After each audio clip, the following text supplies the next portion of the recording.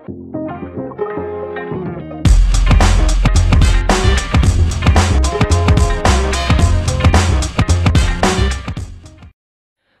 di video kali ini kita akan coba untuk menyelesaikan permasalahan segi 4 dan segitiga. Dan di sini kita sudah punya soal, jadi diketahui ada sebuah pernyataan dari bangun datar. Jadi ada sepasang sudut yang berhadapan dan sama besar. Yang ditanyakan, tentukan bangun datar yang dimaksud. Oke, kita coba jawab.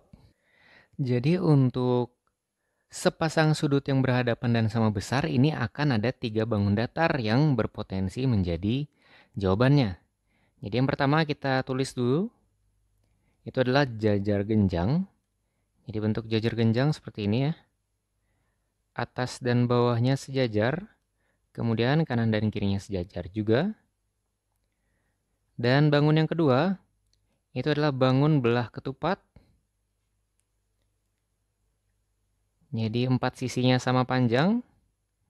Kemudian bangun yang ketiga, itu adalah bangun layang-layang. Jadi bangun layang-layang seperti ini. Ada diagonal satu dan diagonal duanya.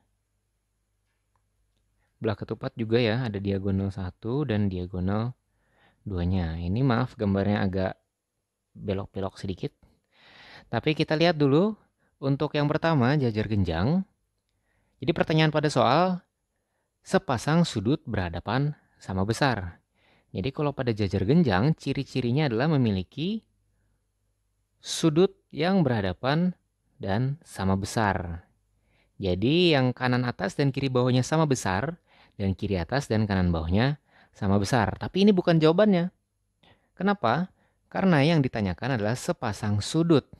Dan ini memiliki dua pasang sudut yang sama besar. Jadi untuk yang satu atau jajar genjang, bukan jawaban yang tepat.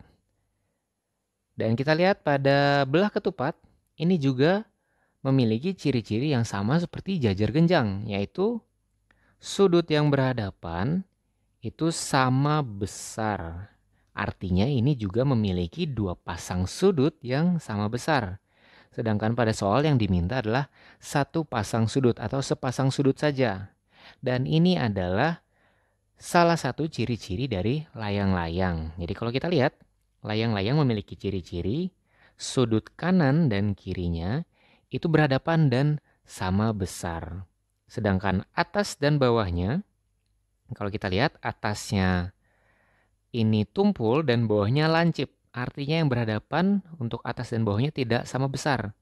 Jadi ini benar jawabannya ya, karena hanya memiliki satu pasang sudut berhadapan yang sama besar.